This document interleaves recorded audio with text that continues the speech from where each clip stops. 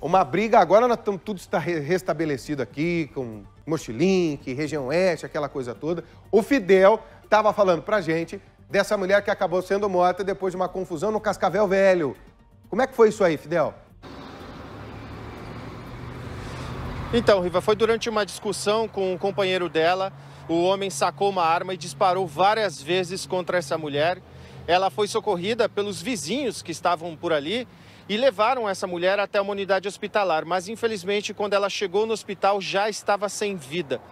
O homem está foragido e a polícia ainda está atrás dele, Riva. Bom, ô Fidel, aí, claro, termina com a morte de uma mulher, o que é um negócio absurdo, né? A quantidade de mulheres mortas nesse país praticamente todos os dias.